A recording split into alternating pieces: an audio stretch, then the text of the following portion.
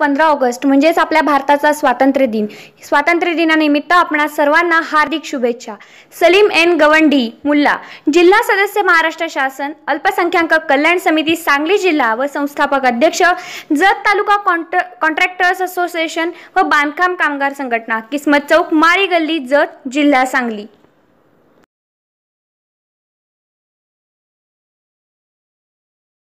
Subscribe करा तिचा जागर न्यूज बेल आयकॉनवर क्लिक करा आणि बातम्यांचे ताजे अपडेट आपल्या मोबाईलवर मिळवा. नमस्कार मी राधिका दर बातमी कोल्हापूर येथून. निष्क्रिय पालकमंत्र्यांमुळे जिल्ह्यात कोरोनाचा फैलाव.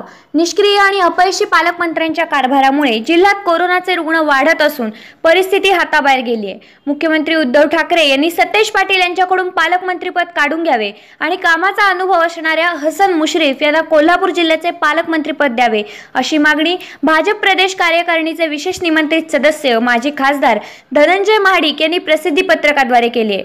पंतप्रधान नरेंद्र मोदी यांच्या वाढत्या लोकप्रियतेमुळे काँग्रेस कार्यकर्ते गर्भगळीत झालेत. म्हणूनच आत्मनिर्भर पॅकेजबाबत बालिश सवाल करत आहेत. महापालिका बाजार समितीतील घोटाळ्यांवरून लक्ष विचलित करण्यासाठी काँग्रेसकडून आंदोलनाचा फार्स केला जात असल्याचा आरोप माजी खासदार महाडिक यांनी पत्रकाद्वारे केलाय. कोरोना महामारीच्या फैलावामुळे जगभरात हाहाकार उडाला. त्याला अटकाव करण्यासाठी लॉकडाऊनसारखे कटू निर्णय घ्यावे लागलेत. लॉकडाऊनचा फटका अर्थव्यवस्थेला बसणार हे स्पष्ट दिसत होते पण विविध योजनांमुळे देशाला महामारीची झळ कमी बसली आहे. आत्मनिर्भर पॅकेजबाबत बालीस सवाल उपस्थित करून काँग्रेसने आंदोलन करण्याचा केविलवाणा प्रयत्न चालवलाय. पण आम्ही पॅकेजबाबत सविस्तर माहितीचा फलकच लावल्याने काँग्रेसच्या आंदोलनाचा फज्जा उडाल्याचे महाडिक म्हणालेत.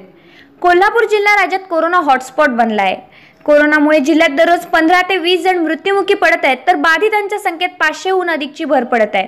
रुग्णांसाठी बेड उपलब्ध नाही आरोग्य यंत्रणा तोकडी परत पडत असून क्वारंटाईन सेंटरमध्ये ऑक्सिजनची कमतरता जेवणाताळ्या असुविधांची वानवा आहे.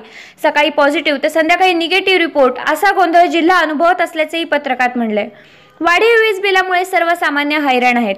वीज स्थिर आकारावरून उद्योजक संकटात आहेत.